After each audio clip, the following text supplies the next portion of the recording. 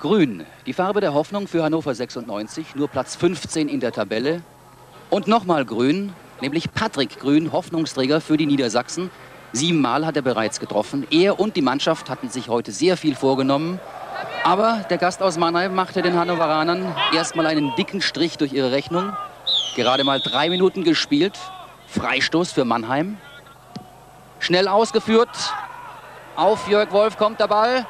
Und das 0 zu 1.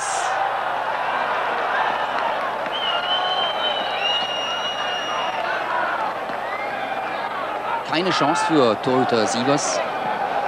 Zwei Minuten später wieder Mannheim, in den Medien zuletzt hart kritisiert, aber auswärts erst einmal verloren. Spielte heute wie aufgedreht. Jörg Wolf zieht vorbei an Sievers, der hält ihn und klare Sache, Elfmeter. Gerd Deis wird den ausführen. Sievers im Eck hält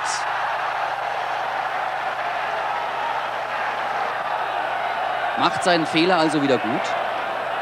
Aber trotzdem Hannover völlig von der Rolle, obwohl der etatmäßige Libero und Herzstück der Abwehr Carsten Surmann nach Suspendierung wieder dabei war. 21. Minute, Mannheim Dice auf Uwe Meier und der dribbelt sich klasse durch und ein herrlicher Treffer, das 0 zu 2.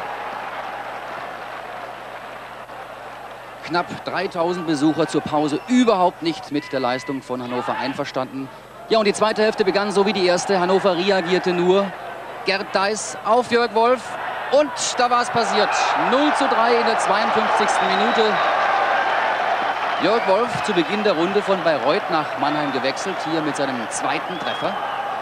Hannover desolat und ohne Gegenwehr. Mannheim dagegen kontrollierte Ball und Gegner. Eine Klasse stärker heute. Denn der Sebert wechselte nochmal aus, brachte Lutz Hoffmann für Jörg Wolf. dessen erster Ballkontakt und der Ball sitzt. 0 zu 4 in der 78. Minute. Die Niedersachsen taten einem da schon richtig leid. Kurz vor Schluss nochmal Mannheim über Meier.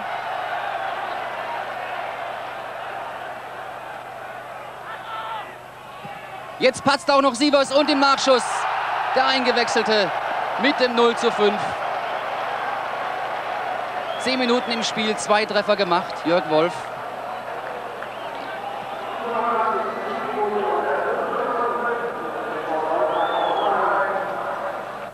Und dabei blieb es auch. Fazit für Mannheim.